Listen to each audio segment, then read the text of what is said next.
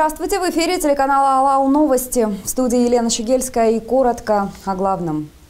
Житикара, Лисаковск, Рудный. Почти сотня дачных домиков сгорели в Кустанайской области только за два минувших дня. В Кустанае продолжаются антимусорные рейды. Полицейские привлекают к административной ответственности председателей ПКСК, игнорирующие несанкционированные свалки во дворах домов. Болсло Ликенова расскажет подробно. Бессмертный полк и возложение цветов к мемориалу воинам-кустанайцам. В праздновании Дня Победы в этом году примут участие 22 ветерана Великой Отечественной войны. О том, как и где будут проходить мероприятия, расскажет Камила Салкомбаева.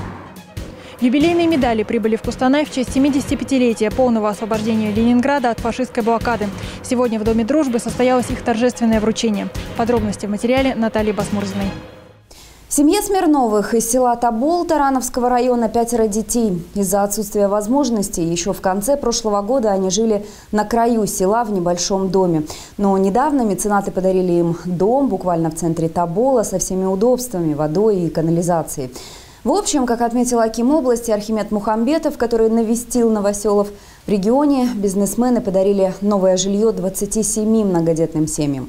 Татьяна Калюжная расскажет подробнее.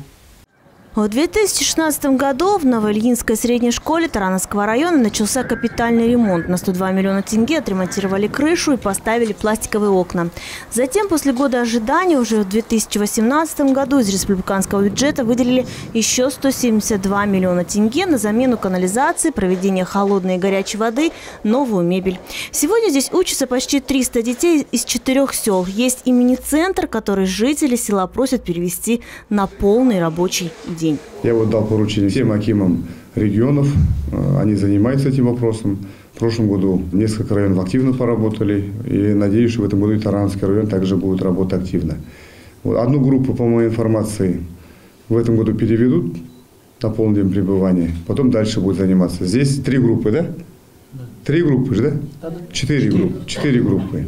Вот. Но в целом мы должны, конечно, перевести. Аким Куснайской области осмотрел в Тарановском районе отремонтированный в прошлом году спортивный клуб «Кайсар». После реконструкции здесь были открыты новые секции, приобретены за счет спонсоров инвентарь и тренажер на общую сумму полтора миллиона тенге. Потолок вы сделали? Полностью. Полностью. Отопление. Здесь три душевые сделали. Угу. Вот, вот то, что было. Вот как вам было старое здание. Старое здание.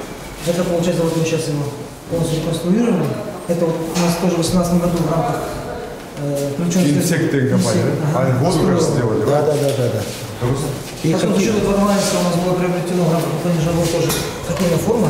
Это вот она здесь вон. Тенге у нас получается. Угу. Вот у нас она форма, показать. Да? Шесть видов спорта у нас здесь культивируется. Это футбол, э, греко-римская борьба, дзюдо, лыжные гонки, легкая атлетика волейбол. И вот у нас 550 детей занимается. Также Ким Куснайской области посетил многодетную семью Смирновых в селе Табо. Недавно меценаты помогли купить им новый дом. По словам Архимета Мухамбетова, благодаря спонсорам новоселья в этом году отметили 27 многодетных семей в регионе. Диара Хмечин и Татьяна Калюжная, РТН.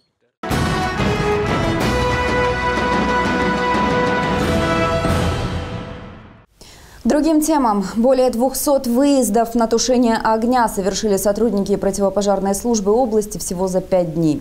Почти в трех десятках случаев в регионе возникали пожары, в остальных горели трава и мусор. От огня пострадали жилые дома и дачные постройки. Такой ситуацией и статистикой возгорания, несмотря на то, что опасный период только недавно начался, пожарные уже обеспокоены. Тему продолжит Виталий Луговской.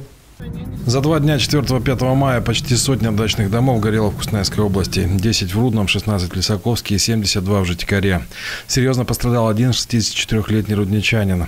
Его обнаружили при тушении в состоянии средней тяжести с множественными ожогами и отравлением угарным газом. Основной причиной дачных пожаров сотрудники Департамента по чрезвычайным ситуациям региона называют нарушение безопасности самими садоводами. Они сами оставляют костры без присмотра, не учитывая направление и силу ветра. Последний несколько дней э, ветер усиливается, в результате чего это все переходит на надворные постройки, горят жилые дома, надворные постройки, бани по вине самих же хозяев предыдущие пять дней пожарные выезжали на тушение огня 188 раз. Более чем в 160 случаях горели трава и мусор. В 25 произошли настоящие пожары, как, например, 4 апреля в Кустанае на улице Лермонтова. В результате пожара было повреждено, вернее, огнем была повреждена э, крыша частного жилого дома и уничтожено несколько построек соседних расположенных домов.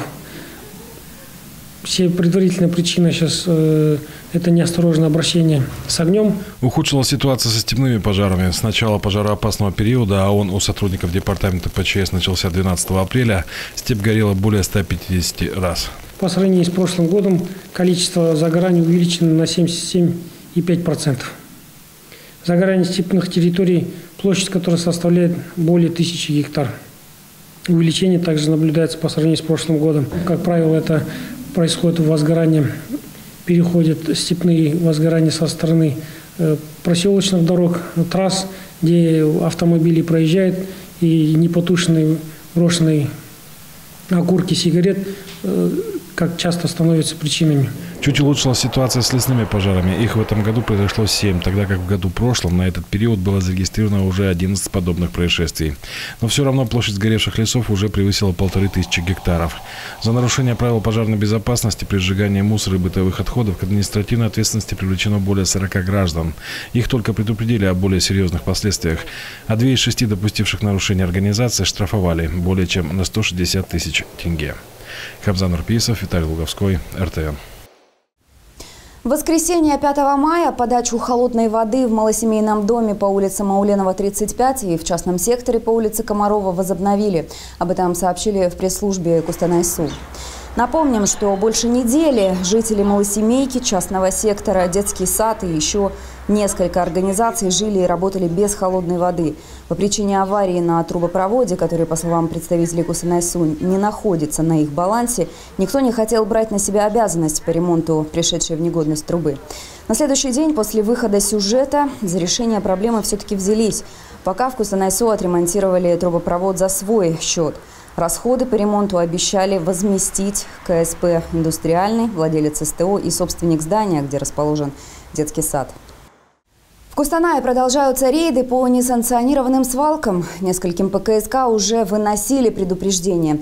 Тем, кто вовремя не отреагировал и не принял меры по их ликвидации, теперь выписывают реальные штрафы. Участковые привлекают к ответственности всех, чья прилегающая территория замусорена. У полиции закончились предупреждения, а у местных властей терпение. Теперь за организацию свалок придется выплатить штраф в размере 75 тысяч тенге. Наша съемочная группа приняла участие в одном из таких рейдов. Рейд начался с южной части областного центра – Жители микрорайона Кожебы неоднократно жаловались в отдел ЖКХ на наличие несанкционированных свалок. Причем одни жильцы винили в неухоженности дворов и мусорных контейнеров ПКСК, другие – обслуживающие предприятия Тазалых. Третьи – самих жильцов, которые не доходят до мусорок и выбрасывают отходы, где придется. Такая ситуация произошла во дворе по улице Маяковского, 117. Оно было все нормально, чистенько, аккуратненько. Ну как придут, тут бросают, кидают, все, прям вытащат. Пока скоты убирают, тут убирают здесь. Уберут, уберут это, они все равно это накидывают. Не считает себя виноватым председатель ПКСК «Партнер» Кумар Салкенов, который сообщил, что мусорная площадка, куда выбрасывают мусор жильцы домов по Маяковского, относится сразу к пяти ПКСК. Однако уборку и обслуживание приходится проводить только его дворникам. Мы буквально на этой площадке живем. Э, убираем, убираем. Надо поднять ответственность жителей которые на расстоянии буквально 20 метров э, пренебрегают, брезгуют подойти к мусорным бачкам, э, чтобы положить мусор. Председатели всех пяти ПКСК ранее получали предупреждение от полиции. Тех, кто проигнорировал, штрафуют. Если, допустим, повторное нарушение повторяется, то уже привлекается э, по части 2, тоже также статьи 505, где влечет э, административный штраф в размере 30 МРП. Это больше 75 тысяч тенге. Всего было предупреждено 4 ПКСК в микрорайоне Кожебыи. Если в течение 10 дней они не устранят несанкционированные свалки, то штрафы им не избежать. Если на Майковского от свалки удалось избавиться, то на Чкалова она только разрастается. Около 51-го садика, жилой комплекс домов, да, люди бывают, бросают просто так мусор, и очень долго оттуда не убирается, и какие-то кучи огромные рядом с садиком. По мнению жителей домов по улице Чкалова свалка появилась после появления автомобильной стоянки. Раньше здесь 20 лет, вот, вот там была мусорка. Она никому не... И все вот эта вся округа носила туда все. Но нашелся человек, вот выкупил это место сделал стоянку. Так? А мусорку пришлось убрать туда. Только вот жители продолжают бросать мусор в уже привычное для них место. Облюбовали местечко лица без определенного места жительства. Здесь живут вот не народ, а свиньи настоящие. Где живут, там и гадят. Вот несут, пожалуйста, здесь бросают, там бросают. Им просто во дворе нужно сделать площадку под мусорные контейнеры. Безучастна и владелица стоянки, которая ни разу не организовала уборку прилегающей территории. В полиции сообщили, что адом ответственности ей не избежать. Заплатит штраф и председатель ПКСК «Юность», которого во время рейда не оказалось в городе. Монарбек Косколов, Балсло Ликенова, РТН. После рекламы мы продолжим рассказывать о событиях. Не переключайтесь.